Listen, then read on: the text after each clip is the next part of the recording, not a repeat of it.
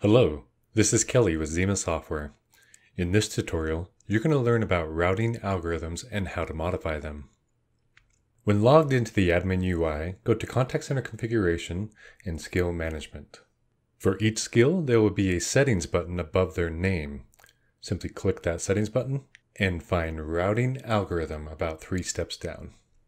We provide five routing algorithms, including most idle, circular, linear, intelligent highest skill first, and finally, no routing at all, which is more applicable for an IVR inside of our system.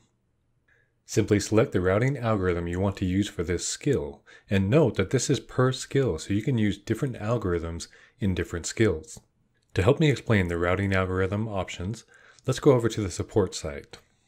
By searching for routing algorithms in the Help Center, you will find this article. First up is most idle, it's simply that. As long as the agent is assigned to the skill, we will look for which agent has been idle the longest and give them the next call. Please note that their skill level does not apply here so long as they're a part of the group. Next up is circular. The skill levels do apply here as it defines the order for the agents. The very first call for the day will go to the tens. Afterwards, we'll present calls to 9, 8, 7, etc., and this will be round robin as the day goes on. Up next is linear. This is similar to circular as the skill level defines the order. We will present a new call to the tens first. Now note if you have more than one 10, the tiebreaker for those tens will be who has been idle the longest.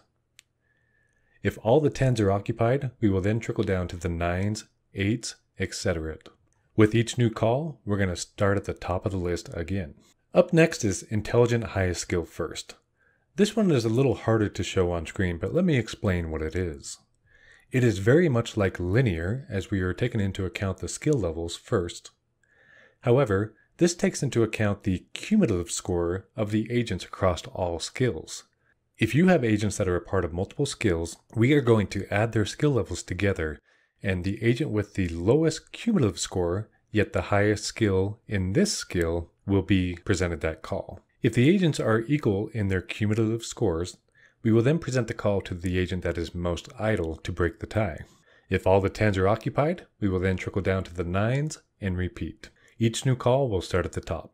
Now that you have learned about each routing algorithm, make sure to select the one that makes sense for this skill group. And as always, click OK and Save to apply.